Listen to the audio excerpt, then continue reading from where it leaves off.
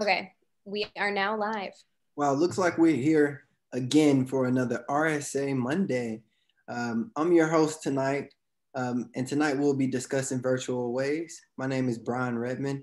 I'm the Northeastern representative for the 2020 to 2021 year and your incoming vice president for the Medical Student Council. I'm a a G1 MD PhD at the University of Rochester. I'm joined by three other amazing and newly matched um, members of the Medical Student Council. I'll let them introduce themselves uh, so we can get started. We're also being joined um, by Leah. Uh, hey, Leah, how are you?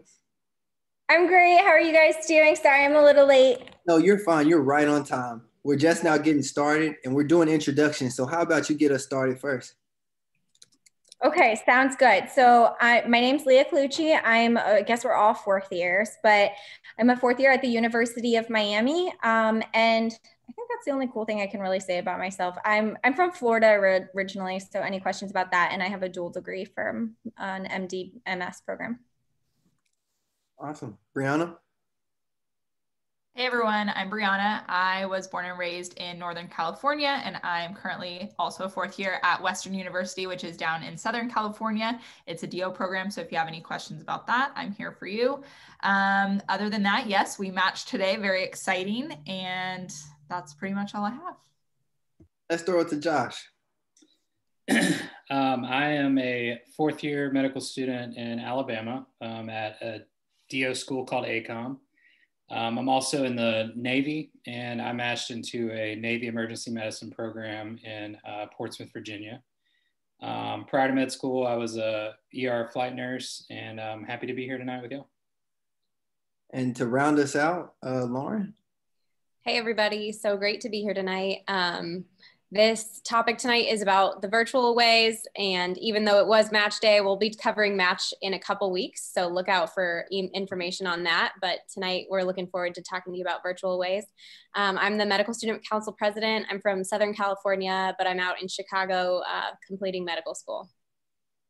Great. So you, our panelists are here to answer your questions. We've got, you know, some pre-made questions already. So we'll cover the basics about um, virtual aways, uh, hit some things that were sent via email. But if you have any questions, please feel free to drop them in the chat. Uh, they'll be more than happy to answer them.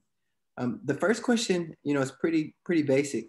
Um, let's talk about what a virtual away actually is, and maybe um, the panelists can share with us some anecdotes from their virtual away experience, maybe about what some of the content was like. Anyone can start. Just hop in. So I did one um, four week virtual away and one two week virtual away. So they were, and they were entirely different experiences. Um, the four week one had a lot of simulation set up and some like independent work that they would give me. So like EKG packets, things to read, um, some different, uh, like podcasts to listen to in order to prepare for like these Zoom sessions that we had. Um, and so I think it's just kind of different based on how the program does it. Meanwhile, the two week program had a lot of like, they had me on a little iPad and wheeled me around their emergency department. Um, and they were different experiences, but I think both very valuable. So I think it also depends on what you're trying to get out of that experience when you're doing the virtual away. Yeah, I think that the virtual away that I experienced, I did one one two week uh, virtual rotation. And I felt like it was really just didactics for an extended period of time, plus a little bit of simulation. So most of the day, like most of the morning, it was lectures, and they were a little bit more interactive than maybe a normal lecture because the lecturer at the end would ask you questions based on the lectures to make sure that you were paying attention. Um, mine was in East Coast and I'm on the West Coast, so it was like 5 a.m. every single morning, so I was a little sleepy. But it was mainly lectures, and then once every other day we would do like a simulation where they would do a foundations type case and each time a different person would lead it but other people could jump in and help answer the questions that they were asking Mine was pretty similar to Brianna's. I also did a two week away. I did mine on the West Coast, so we were going opposite directions. Um, but it was structured similarly. Foundations cases are lecture material that are used to teach residents in residency. So they um, kind of present a patient and then have you walk through the patient verbally, um, like all the different steps. And so um, there's that's like really useful because it's the curriculum in residency. The thing that was different about my way was that it was also focused on social emergency medicine. So we had um, different fellows come talk to us about their experiences. And then we also did a lot of um, programming and conversation about how to treat patients well in the emergency department. So whether they were coming from jail, if they were um, patients who were trans, if they were patients who were homeless, things like that. And I think it really gave a perspective that we might not otherwise have had in medical school. So that was cool. Well, first of all, I really think that uh, sounds pretty cool, Lauren. Uh, the social side of uh, emergency medicine is something you encounter on every shift. So I think that's cool that you got that experience. Um, I did one official away, uh, which was at UAB in Birmingham, Alabama, and then the other one was kind of an informal um, away uh, at a military program in San Diego. Um, they were both uh, a little different. The one in San Diego involved some of the, uh, you know, taking the camera into uh, the residents' uh, normal simulation practice, which was good. I thought it gave us um, kind of a window into how the dynamics of the attending uh, residents uh, relationship were. And then um, in the one in Alabama was set up uh, as more of a didactics with uh, the board style, um, the oral board style review sessions that they were alluding to, the foundation stuff where they present a patient, you walk through it. I will say what I really liked about the virtual aways was that they were uh, excellent networking opportunities. I felt like because you know when you go and do um, an in-person rotation, uh, it's very easy to get um, caught up in shift work, and you know not always uh, easy to have those conversations that are meaningful. But um, on these a lot of these Zoom calls and stuff, I mean you're constantly interacting. Uh, they're seeing your little name on the the video feed. So you're getting uh, repeated exposure um, in, in a very good, or, you know, if you're not a, a good, uh, a good person, probably a bad way, but um, I, I, really enjoyed the, the experiences, although it's always more fun to be hands-on. So it seems like um, you all's experiences were, were, were, pretty different, but meaningful nonetheless. Um, so there is a lot you can get away from, you know, a virtual away. Uh, so I definitely would encourage, and hopefully that's not the future of away rotations, but definitely if that you know is the next step, I encourage all of our attendees to to participate in them.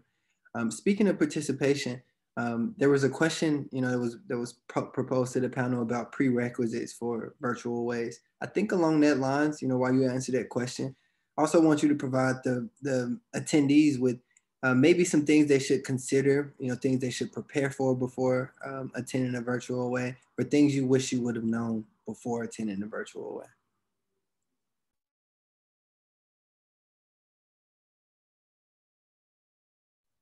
So I don't think that I had any prerequisites for the virtual rotation that I did.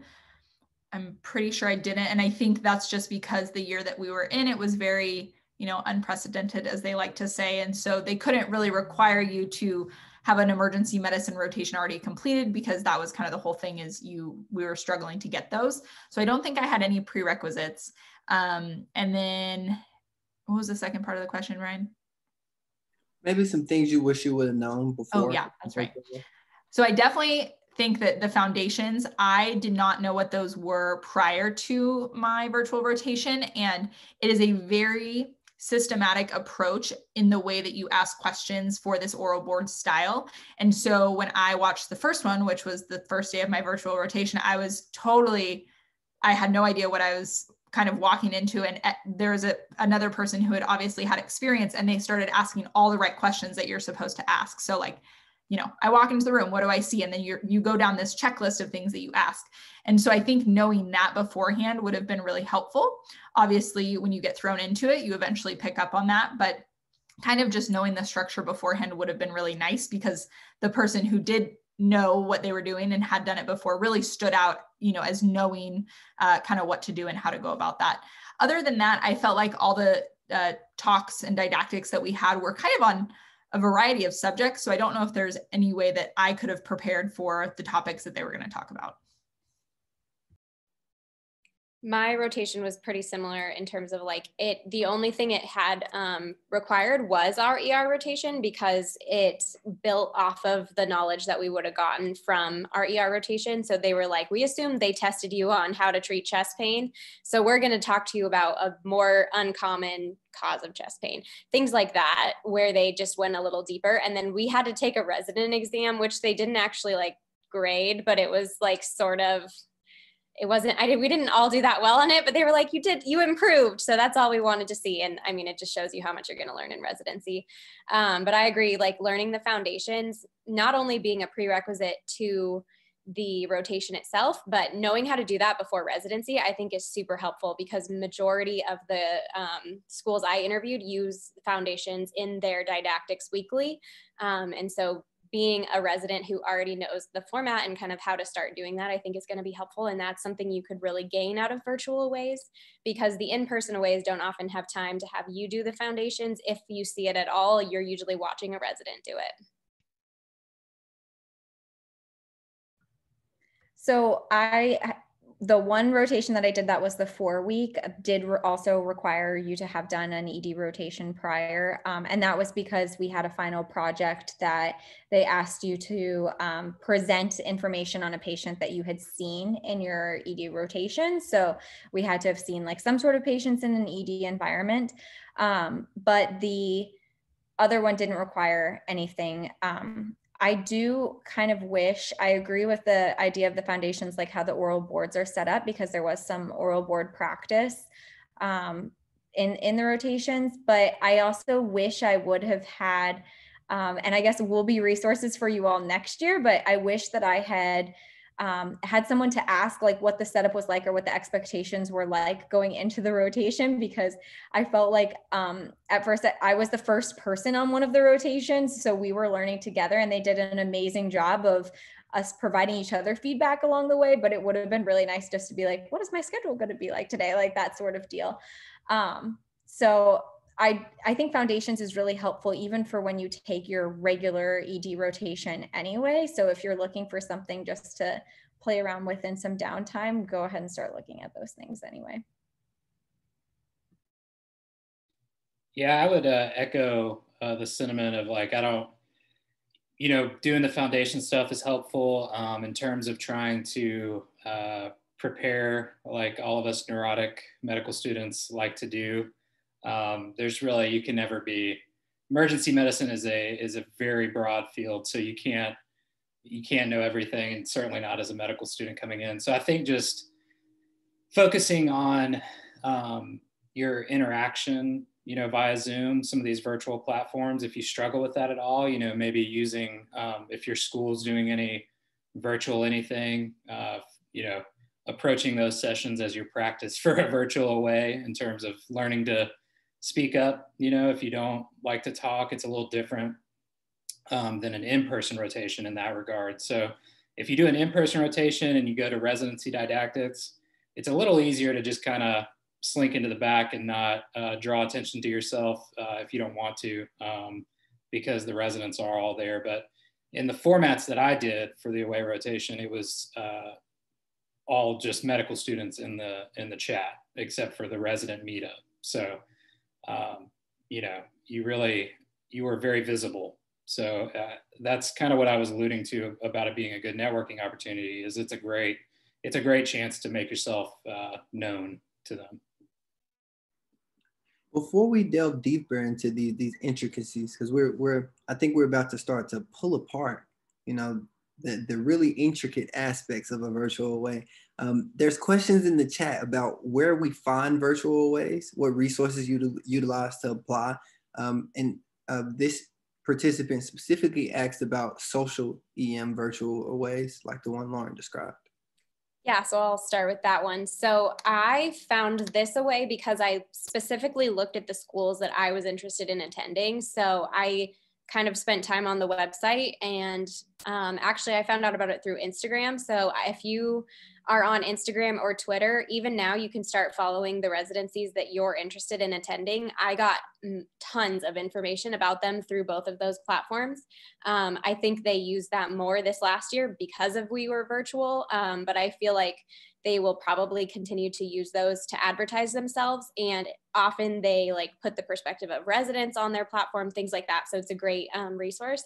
But if it's something that you're interested in specifically i'm sure um, probably reddit might have like a list of different away virtual away options or even just like looking at your top your programs that you're particularly interested in. I don't think it's a problem to say mine was at ucla so they might be offering it again in the future um, because it was a different experience that was particularly focused on social emergency medicine so So I know that some of these virtual aways are going to be ta- like you can look them up on VSAS. Um, they were offered on VSAS when I was going through, and I found out about the virtual aways, and I feel comfortable saying where I did mine too. So my four week one was at Yale, and my two week one was at Georgetown. And I found out about them because I had applied to those programs for away rotations before they were canceled. Um, so they reached out to me when they were thinking about creating a virtual away to see if I would have still been interested because I had already shown interest in the program that I wanted to um, get involved and be there somehow. But I highly recommend. I think EM is a very social, like social media sort of specialty. So I got a Twitter this season just to actually look at residency programs, and I feel like I got a better understanding of how the programs work and interact with each other just through their social medias. So if you're not a social media person, it's okay. It's never too late to get one, but there's some really good info, like Lauren said, out, out there. I just applied for my virtual rotation on VSAS. I had a two week gap in my schedule and I realized that a virtual rotation would probably be the best option for me. But as another plug for social media, even not just virtual aways, but their socials or their um, some of them have game nights or whatever. I definitely missed like the first half of that, like in the September October timeframe, because I wasn't following them on Twitter or Instagram. But then like the later in the year, I got, I was able to catch all those. So definitely start following programs you're interested in because they most programs do post a lot on social media about the events they're going to have and about the virtual rotations. I was following UCLA um, at the time, and I also saw the virtual away uh, that Lauren did. So. Yeah, uh, one of mine I just uh, kind of fell into because of the nature of the pandemic. It was supposed to be a, a in-person rotation, then my orders got canceled. So that's uh, our. I think our finding of the virtual aways is definitely going to hopefully if they go back to virtual will be different for y'all. Um, the uab one i did i think they had just used their the people who had applied for the vsas in person and then sent people out an email saying you know hey we want you to come do a, a virtual rotation. So um, i agree with the the social media thing. I think um, you know if there's one thing i've learned the worst that people can say is no. So if you're if you're looking for something, you know, it never hurts to send uh, emails inquiring or or pick up the phone and call somebody. I know it's you know we don't do that these days. We we we only call if it's an emergency, but um, you never know who you who you're going to talk to and what doors that may open. So I would I would encourage just reaching out if you if you feel like you're interested in a program. That's really good advice. Thank you, panelists, for sharing. Um, we've been discussing pretty much the logistics of applying to a virtual away, to do a virtual away or not to do. Um, I've got a panelist right now who's really concerned about completing a virtual away at one of their top three programs. Um, the panelist writes that some advice uh, they received about completing in-person virtual aways was not to do it if it's one of your top programs to sort of avoid making any mistakes, something that could potentially harm your application, even if it's accidental. Would you say the same advice is true for a virtual away? Should you avoid your top three programs of interest? I don't know that I would so I mean, I'm not a uh, you know an emergency medicine advisor, so I would take this with a grain of salt. Um, but I feel like there's really no better way to um, make an impression than to be there in person and for them to see you working on a shift with emergency medicine because it's so much of a teamwork environment and wanting to know who you are as a person. And uh, there's a it's a diverse field, so I feel like there's room for everybody in emergency medicine. So there's no better way to to display that than going there. The caveat to that would be if you have not done any emergency medicine, I wouldn't make your first rotation somewhere like your top program because you want to kind of work out your kinks a little bit um, before you do that. But um, but yeah, in terms of whether that's how that compares to a virtual away, I would say um, since you're not showing up and doing shift work, uh, you if your first thing is doing a virtual away with somebody, then um, then that's probably okay as long as you're you know uh, a good person and, and humble and and not uh, the kind of person who would come off bad on Zoom. So. I agree with that too. I think, I mean, you guys hopefully will get the opportunity to do one in person away if possible. I think they're trying to work to do that um, this year. But I think if there's a program that you're super interested in that you weren't able to get in a way at, doing a virtual rotation isn't going to hurt you. Um, as long as you're positive, I mean, all of the things that that help make you a good third year are going to be the same in being a good virtual rotator that you're showing up on time that you're engaged that you're kind that you're not like talking bad about other programs things like that you know that are kind of common sense um, but I think that they really were able to get to know us on the virtual away. And I actually was able to get a letter from mine. Um, and while I didn't get to read the letter, I got to read my eval at the end. And I feel like they really did get a good understanding of me as a person. So I don't think you should shy away from it if it is a place you want to go and you want them to meet you. So I also was this season was struggling so hard to find out more about the programs because I'm a very driven by like gut feeling, fit feelings. So um, I really loved the rotations because I got to interact with so many individuals at the program outside of interview day. So I got to really see um, how the residents interact with each other, um, how like residents that I felt like I really connected with and got along with. And I felt like I you know, if I were to go to either one of these programs for residency, I have a much better understanding of how they work together and how, um, like, where my personality would fit in. So I think that was really helpful as well because interview day is such a small part and everyone's on during interview day. Uh, a lot of the experiences you have on interview day are curated. Meanwhile, with the rotation, like you see people at different points of their day all throughout the day. So you get more of an authentic, this is how people interact with the attendings, this is how they interact with each other. And that made me feel a lot more confident um, about the types of programs and, and they're genuinely both programs genuinely really cared about each other and i can only speak about them very highly but um, i feel like if you know if they didn't have a good experience i would have known that too so i highly recommend it just for your own benefit of knowing more about the programs and they typically do a lot of programs that do aways, even virtually, typically offer um, their students an interview. So that could be a little boost in the door for you. Just going off what Leah said, I think, you know, it's, and this is just my personal opinion and my personal perspective. It's easy to think what your top three are until you potentially do an away rotation with, you know, one of those hospitals and you realize, wow, maybe this isn't for me. Maybe this isn't the place that I'm supposed to end up. And so in my mind, I would rather go in, do a virtual rotation or an actual rotation, whatever you can get your hands on, and really get to know that place that you think is your top three. Because if it's going to be in your top three, they're most likely going to really love you and you're going to love them. Um, but I also think that knowing yourself is important. And like Lauren was saying, you have to do all of those things if you're going to be on a rotation be nice, show up on time, and all those things that make you a good student and potential resident. But I think that I would not shy away from doing a rotation in my top three because I would want to know what those programs are truly about and being able to see them for more than just one day on Zoom. Hopefully, it will be in person for you guys, but one day on Zoom doesn't really say much. But two weeks, four weeks, that says a lot more about a program, um, both in person and online.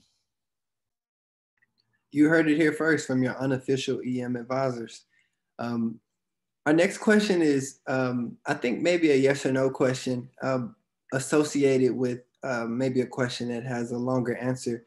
But um, some of the attendees want to know, do you have to pay to complete a virtual away?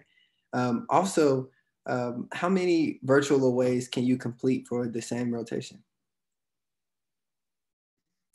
So I was thinking about this and I forgot that I paid, but I'm pretty sure I paid like $300 maybe which in the grand scheme of having to travel and like live at a different place isn't terrible. Um, and I would spend it again every time because the rotation was so worth it. But it feels like a lot now that I'm remembering that. You just block out everything you pay during uh, interview season. um, but yeah, so I think some of them might, I don't know if that's typical, and I can't remember for sure if that was true, but I have this vague feeling that that was true. Um, and then the second part of that was, what did you ask, Brian? Sorry. How many rotate um, virtual ways? Yes, yes, yes. So my school allows you to do, I think, four rotations within a specialty three on top of the like required rotation. So I could do three ER rotations and I used my virtual as one of my three. Um, so it all depends kind of on your own school's rules, I believe. So I paid for my virtual rotation whatever the fee is on VSAS to apply for it. So if it's like 15, 20, 25 dollars, I can't exactly remember, but it's something along those lines. And then I also paid an additional I think it was like 25 or 30 dollars because they mailed me a suturing kit and a couple of other things that we used for the rotation. Um, so that was kind of just paying for that, I guess. So all in all, I think it was like 50 or 60 bucks in total. Um, definitely worth it. Would do it again. And oh my gosh, I forgot the second part again. Brian, I'm so sorry. How many can you do? oh, how many can you do? So, um, my school only allowed us to do four weeks of virtual rotation. So, with my two week virtual, I could have done two more weeks of virtual in any specialty. It didn't matter. But basically, they put a limit on virtual rotations because people were doing a lot of them and just staying home. Um, so, our limit was one month, four weeks. So I had to pay for uh, my Georgetown one, and in and I think I think it was a hundred dollars, but it was. And I'm just like Lauren. I don't really remember what it was because it was worth it. And and in their defense, they had gotten this whole. Um, they paid for this technology, like they got this whole like iPad on like a wheelie thing. I don't know what I was hooked up to, but they actually took me around the emergency department and had me like physically talking to patients. Um, so it was a, an amazing experience. And so I know there was a little bit of a cost that went into the, the technology portion of it. Um, so that's, I know that's what my money went towards. And again, it's saved so much money being home for those two weeks than it did having to fly or travel or anything like that. Um, and I have no idea the limit at my university. I don't even know if they gave me credit for taking those. So I can't tell you how many you're allowed to do. Yeah, my first thought at hearing three hundred dollars is all the uh, camping equipment that I could buy for that. Uh, but as Lauren said, um, I do uh, I do agree. If it's a if it's a program you're interested in, honestly, I mean that sounds like an expensive price tag, but it's hard to replace the value of uh, that interaction with them, um, especially if it's not available via another avenue, whether that's because of pandemic or financial uh, capability to, to go out to a place. But um, I think I was trying to remember. I don't. I think uh, the one with UAB was just um, the VSAS application fee. There may have been like some fifty dollar administrative fee or something like that. But I also think that you know, hearing the variety of uh, what these rotations were like. Um, if this is something that continues on into this year, um, I'm excited to see what they come up with because I know this past year it was really kind of a scramble to provide something, you know. So I think the the value and the quality of these rotations will probably, if they continue, will be uh, even better.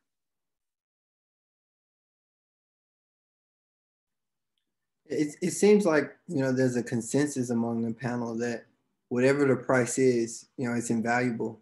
You might as well pay it. You know, don't spend a thousand dollars on a virtual away. Because um, that might not be a virtual away. Um, just some advice. Um, our next question is um, just about how completing the virtual away translates into the next step. Of course, you want to complete the away and get an interview. Um, so my question for the panel is first, did you receive an interview from the place you did the virtual away? And how did it come up in the interview and how did you speak on that experience to folks that interviewed you? So I did get an interview offer from, so I did mine at Lehigh Valley, which is in Pennsylvania.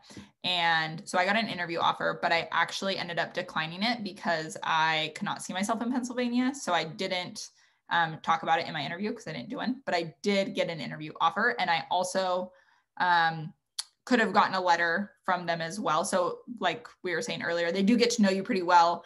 And I think that the interview is pretty standard. So, My rotation actually included an interview. So they structured it kind of as um, a practice interview, but it was obviously like truly for um, the rotation cycle. And if you didn't want to like have it count as an official interview, you just didn't send your app there when it came time for apps because this was before the application process. But again, that was a big draw for me because this was one of my favorite schools. And like, I was, inter- I want to go back home to California. Um, and so they um, it was a draw to get the interview. And what was kind of really cool about it was that we got feedback after. Um, and so it kind of drove my whole interview season because i got really specific feedback about particular answers um, that really improved my overall interview skills. So that was a really interesting um, aspect that i wasn't expecting. Um, and in other interviews at different schools, they all asked me about the virtual opportunities that I and like what I learned and like was it worth it and all that. And so I almost wonder if more places are going to have virtual options because they heard from us who did them how much we liked them and how much we learned from them. They like saw the letter that I got from it, things like that, you know, where I think it'll have an impact on next season. So I didn't do, uh, sorry, Leah, I didn't mean to cut you off. Um, so I didn't do any civilian. Uh, if you're military, um, I may like throw my email into the chat or something if you need any um, advice. It's kind of a complicated thing, but um, I stacked all my civilian interviews to after the military match so that I wasn't doing unnecessary stuff, basically. Um, but the um, email, sorry, I was reading Brian's uh. The uh, military virtual quote unquote rotation I did, um, I did have an interview uh, towards the end of that. And I will say that I had spent so much time uh, talking with the uh, people in the program, residents and faculty, um, that during the interview, it just felt super relaxed and it was over Zoom as well. So it was a format I had already been interacting with them on. So that was a huge plus because it just felt kind of there wasn't a lot of the same um, anxiety, I guess, uh, for an interview day. Um, it just felt like what I've been doing the past month with them, anyways. So it's it's a huge plus to be able to talk with them so much and for them to for you to feel like they know who you are when you're sitting there to interview. So I would definitely encourage it for that aspect as well. And I will definitely make sure I put my email in there in a second. Both of the programs uh, offered interviews, and I think because, and same thing uh, as Josh just said about you felt more comfortable with them. Like I felt like I was just, you know, logging into another day with them and having a nice conversation. They just might have dug into some other aspects of my personality that didn't come up naturally in the rotation.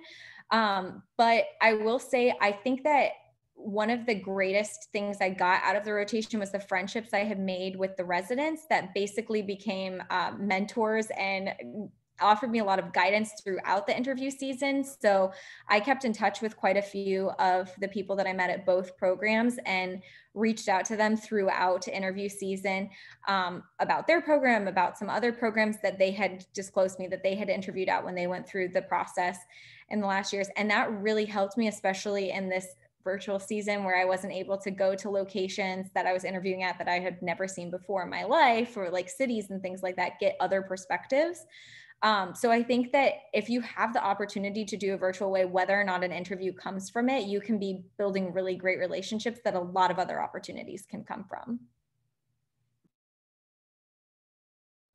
EM is a very, very small world. And I had the same thing where they like offered mentoring and stuff throughout the whole process. They regardless of whether you wanted to go there or not.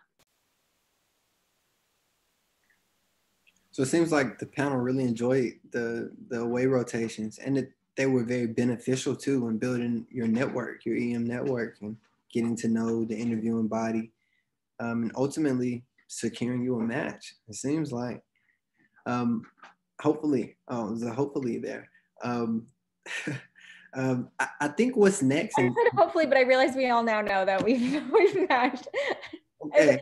It feels like a dream. So yeah, we'll dream with you. Um, I'll join you in in a short while, uh, a long while actually. Um, but I think right right now, you know, we talked about sort of the, the politics of applications and, and what to do and how to, you know, if we should do it, but we haven't really talked about, you know, what the rotation looks like and, and, and how to make the rotation meaningful. Um, so I think the next thing we need to get to is, is how do I make the most impact during my virtual away? Uh, what do I need to do? What should I be prepared for? How do I shine? So I think uh, that's along the lines of uh, what I think I've brought up in every single response that I've had on this uh, chat in some way or another is the networking aspect of it. You know, um, uh, like they were saying, uh, EM is a small community, and I think this is also a good point to make at this juncture is that regardless of where you're doing a rotation, virtual, in person, etc., um, you know, be on your A game that whole time because everybody knows everybody it seems like in emergency medicine. And these program directors they all go to conferences with each other et cetera. So uh, that's just something to keep in mind you know. Um, but I, in terms of like how you can shine i really think that um, you know there's a lot of people and i've said this before i think in another panel but there's a lot of people who um, approach an emergency medicine rotation and think like you know, I got to go in there and I got to be cracking chests and like doing all this crazy stuff and uh, riding to work on my longboard and leaving to go rock climbing after work and all that kind of stuff. The stereotypes of emergency medicine. And like I said before, there is room and need for all different types of people in emergency medicine. And whatever you have as a person to bring to the table is valuable, you know. And so I think knowing yourself um, and and letting that out in the way that you interact with people in this format being humble being inquisitive you know uh, the big things that residencies are looking for um, and you know something that has been noted on uh, my evals is that uh, you know i'm somebody who had a lot of and i worried about this going into my rotations i had a lot of uh, emergency experience before med school. I was an er and flight nurse. So I did not want to come off as the that guy, you know, the guy who thinks he knows everything, etc. So all that to say, it's so important to be humble and teachable. You know, they want to know, can we teach this person? Do they improve? Can we trust them? You know, and so any way that you can make that come across, you know, through these interactions, asking questions, taking that knowledge, and then uh, showing that you've integrated it into your thought process those are all really important things to do. And then just you know being a good person and uh, and presentable you know don't show up to a, a, a, virtual zoom meeting in like your pajamas. And i mean there's probably a program director out there that would like that but uh, most most are, are are not you know? So i think uh, presenting yourself professionally in the way that you look and, and act um, is, is really key I would second that. Uh, just showing up, being presentable, you know, even though you're on a virtual screen, maybe you can wear your sweatpants on the bottom, but like look presentable on top uh, as you would for, you know, if you're going to a lecture or something like that. It doesn't have to be like suit and tie, but like, you know, have a nice dress shirt or something like that on. And I think uh, the way that mine was structured, like I had mentioned, it was lectures and then there was questions at the end. So paying attention, answering the questions at the end, um, we would like type into the chat or whatever, or if it was a longer answer, you could speak. And then for the foundations part, I think that that's really the time to show, even if you are the one that is answering the questions, that you're a team player, right? You're gonna you're gonna ask your teammates for help. You're gonna ask your teammates for what do they think it is. You know, I may not know the answer to this. Kind of going back to being humble, like I would there. I can't tell you how many times during the foundations I said, I have no idea what's next. Can someone help me? And then, you know, they would help me. And so I think just showing that, again, teachable, humble, being a team player, is so important. And all of those things do come across on Zoom. You may not think that they would during a virtual rotation, but they really do just in the way that you act, the way that you potentially use the chat. If you're paying attention, if you look presentable, you know, like I said, I was up at 5 a.m., but like I looked presentable every single day, whether I wanted to or not. So I think that all of those things that Josh mentioned are really important. I just want to echo what Brianna said because EM is so inherently based on teamwork. Um, the way the department runs is based on a team coming together to take care of a patient. And so I think these virtual rotations are a great way to show that you are a team player. Foundations cases, my rotation did sim and we would like piggyback off of each other. We even did an escape room where it was like we really had to work together. Um, things like that, you know, that that you can showcase how you you're not like domineering and you're gonna you're willing to listen to other opinions and you can redirect the group in a humble way if needed you know things like that really can come across. Um, and then another thing i would say would just be prepared. So like my rotation had curriculum for each day. Um, we had like some podcasts some articles things like that. And like something that's easy to do is just actually read them actually listen to them you know? And i i know it's easy to fake and we've all done that in certain rotations but this is the time to like learn the content and show that you did it you know? That's really easy to to answer if the article told you the dosing of some medication and then your attending asks you and you can just know it off the top of your head that is going to come through and they're going to see that you took the effort to learn that I think too, we don't give Zoom enough credit for showing how engaged we are or not. There's some little um, things that I saw on forums where people mentioned, like if you wear glasses, they can see the reflection of you on diff- like on different websites when your lighting drastically changes. Like it could be you minimizing Zoom. So it's there's some ways to if you just go and are paying attention and are staying engaged, like all of the things they mentioned, like those are obvious. Um, and then in the rotation that gave me um, prep work that we submitted, you know, submitting that on time. If I had any struggles with it, actually messaging the people that they gave me as resources to ask questions or to ask them what they studied and, and how they did things showed that one, I was doing the work that they provided, but two, I was trying to take it a step further and learn more things you also don't want to be annoying and you know come up with random questions just to ask a question sometimes but you do want to show that you're taking the rotation just as seriously as you would take an in-person rotation. I want to harp on one thing that brianna said um, the chat feature. I saw this on some of my virtual stuff where I, there's like a disconnect between the video talking and the chat feature. Some people think, you know, the chat is just like loosey goosey. You can put whatever in there, I guess. So I saw some things, some pretty cringy things that people would put in there trying to be funny, etc. That you know, I don't think. yeah, Brian. so uh, you know, Brian is not an offender like this, but uh, yeah. So I would just you know be careful. Be careful with that. It's it's the PhD life. It's too late back. Um, it ruined me. Uh, I, I definitely want to leave uh, some time at the end if folks have any questions, um, especially from our participants. You know, you can keep dropping those in the chat. Um, but I kind of want to just round out this panel with this one final question, and then you know we'll turn to the chat, you know, and our, and our attendees for more. But how do I seal the deal on my virtual away? You know, when it's closing out, you know, the last couple of days, is there anything I should do? Is there something I should do at the end? Is there a contact I should make?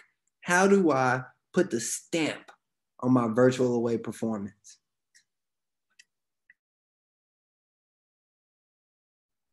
Um, oh, go ahead, Brianna. You look like you were going to say something better.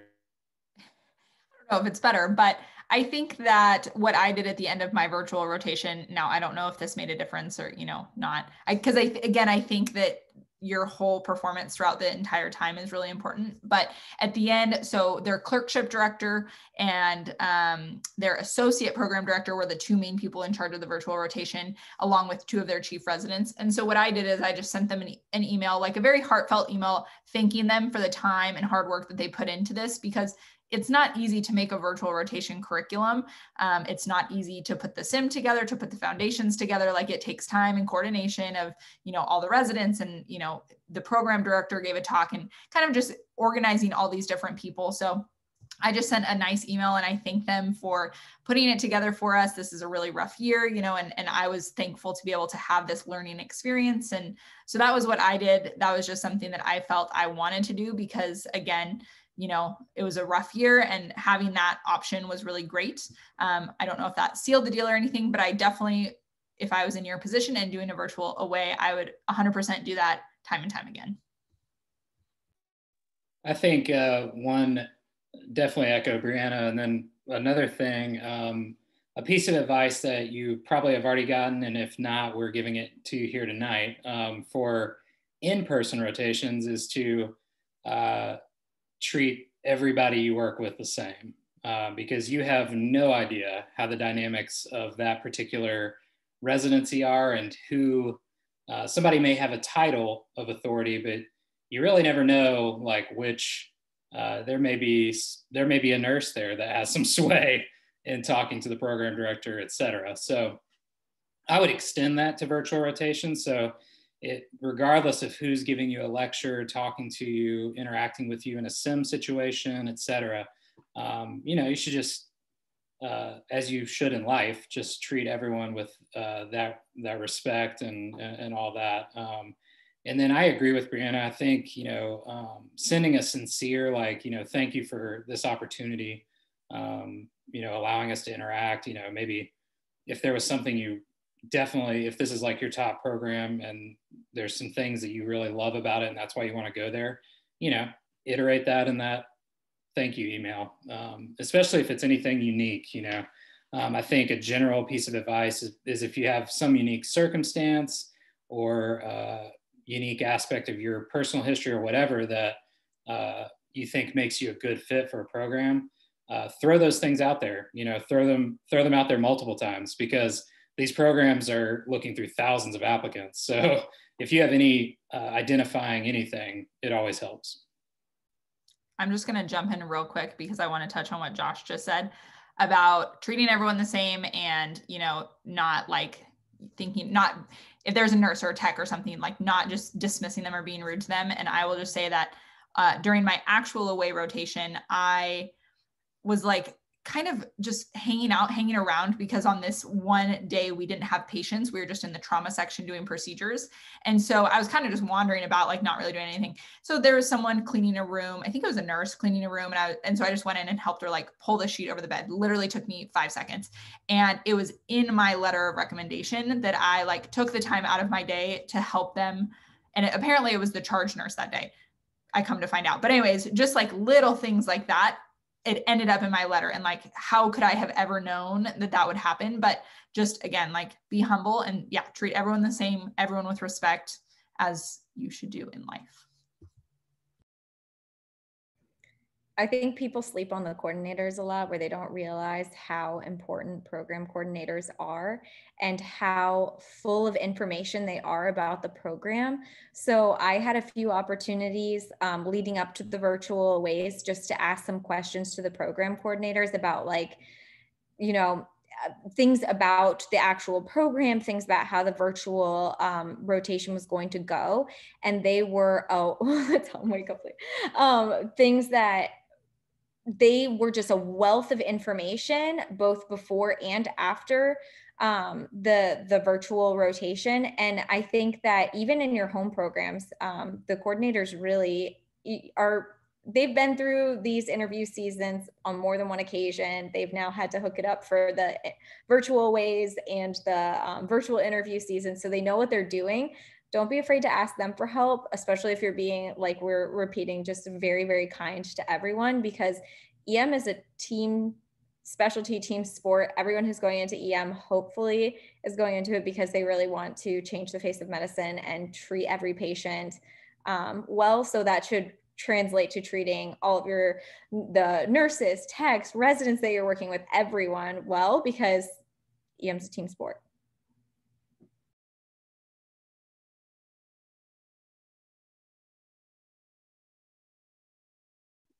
I agree with what everyone said, and I I had like a final feedback session at the end with our coordinator, um, which was really great. And I feel like we, it was this kind of like an in person version of what I would have said in an email, you know. And I can't remember if I emailed or not because it's just been so long, but I think I might have. I'm not sure. I think that's always a great thing to do, and being thankful um, for the opportunities that you're provided is amazing. And again, echoing what everyone said about always being kind and everyone is knowledgeable about the program. So whoever you're talking to like i met a bunch of fellows who taught me a lot about what a fellowship is and different opportunities for me which gave me things to talk about in my interview. You know you can always gain information about emergency medicine with whoever you're with. So use every opportunity.